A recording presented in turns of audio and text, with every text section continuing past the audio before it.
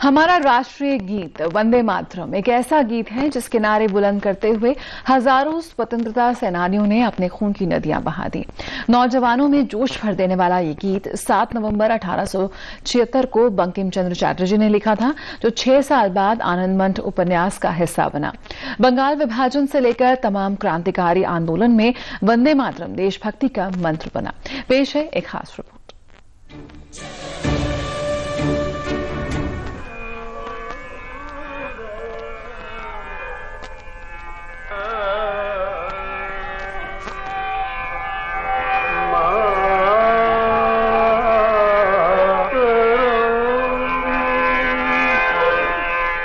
आसमान में मस्त मलंग छिटके बादल बहती हवा का इतराना चिड़ियों का राग देश और आकाशवाणी पर गूंजती ये आवाज़।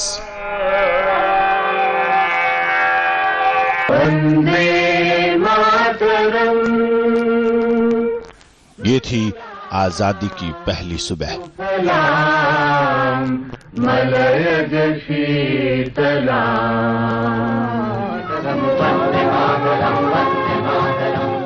संघर्ष, सम्मान, एकता, ताकत, जोश, युवाओं की धड़कन, सभी कुछ तो था इस वंदे मातरम में।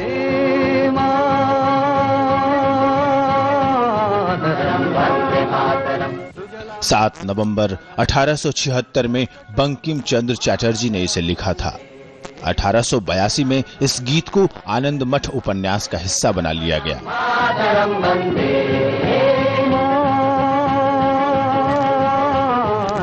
1905 में बंगाल विभाजन के बाद आंदोलनकारियों की जमा भीड़ में वंदे मातरम का नारा गूंज रहा था।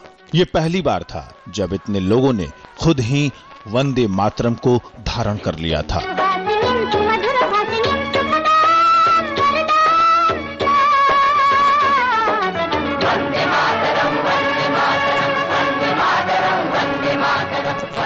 फिर क्या था?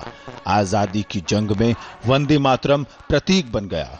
गुलामी की बेड़ियों को उखाड़ फेंकने का। न जाने कितने क्रांतिकारियों ने वंदे मातरम कहकर जान की बाजी लगा दी। बरतानिया हुकूमत की बरसती लाठियों का जवाब लाखों आंदोलनकारियों ने वंदे मातरम के घोष से दिया।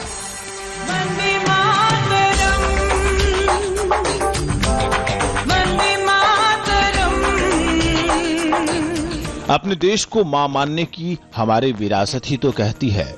जननी जन्म भूमिश्च स्वर्गादपि गरियसी जन्मभूमि स्वर्ग से भी बढ़कर है। तो वहाँ देश को माँ कहकर उसकी वंदना करना हमारी विरासत का ही तो हिस्सा है।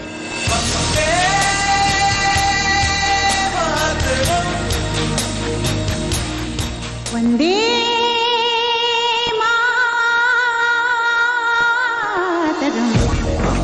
वंदे मातरम महज दो शब्द नहीं। वंदे मातरम सिर्फ़ एक गीत नहीं ये हमारी आज़ादी की लड़ाई का सूत्र वाक्य है। वंदे मातरम अरविंद चतुर्वेदी और मंजीत ठाकुर डीडी न्यूज़